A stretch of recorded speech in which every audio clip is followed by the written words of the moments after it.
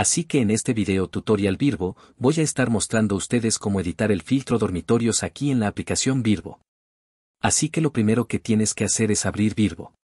Una vez hecho esto, ve a la parte inferior izquierda y pulsa el icono de inicio o la página de inicio. Vaya a la parte superior, donde dice ciudad, y seleccione su ciudad, las fechas y los viajeros. Una vez hecho esto, pulse el botón azul de búsqueda. Tu búsqueda inicial mostrará esto justo aquí, pero si quieres refinar tu búsqueda aún más en lo que respecta a las habitaciones, lo que puedes hacer es deslizar esta barra superior justo aquí. Está justo debajo de donde dice ciudad y justo encima de los listados. Puedes ir hasta donde dice habitación y espacios justo aquí, y luego cambiar las habitaciones de esta manera. Así que si usted está buscando casas que tienen al menos tres dormitorios, puede pulsar en tres al igual que, y luego pulse en hecho.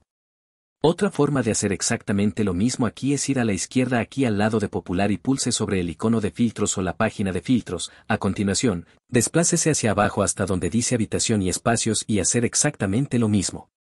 Puedes hacer las habitaciones tan pequeñas o tan grandes como estés buscando.